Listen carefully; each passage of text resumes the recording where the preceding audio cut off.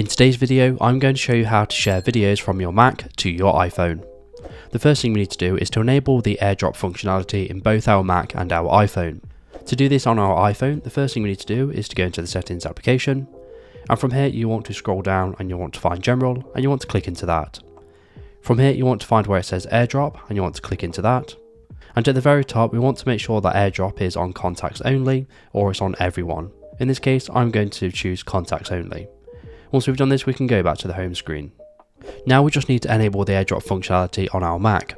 To do that, we need to go to the Apple logo in the top left, and then you want to click on System Settings. Once we are in the System Settings, you want to click on General in the left hand side menu, and from here you want to find where it says AirDrop and Handoff, and you want to click into that.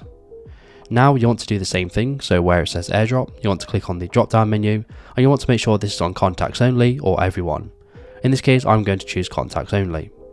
Once we've done this, we can exit out of these system settings and we are ready to start sharing videos from our Mac to our iPhone. So as we can see, I have my example video here that I want to share with my iPhone. So to do this, you want to right click on the video file and then you want to choose share in the context menu. The share menu should appear and it will look like this, and you want to choose your iPhone from the menu here. However, if you don't see it, you want to click on the airdrop option, and then the airdrop menu will appear with all of your nearby devices, and as you can see my iPhone has appeared. So you want to click on that, and that's going to immediately start sending the video to my iPhone. So if we go to the iPhone, as you can see it's now been sent and it's immediately opened the video file in my photos library. However, if it is another file type, such as a PDF, it will automatically open in the Files application.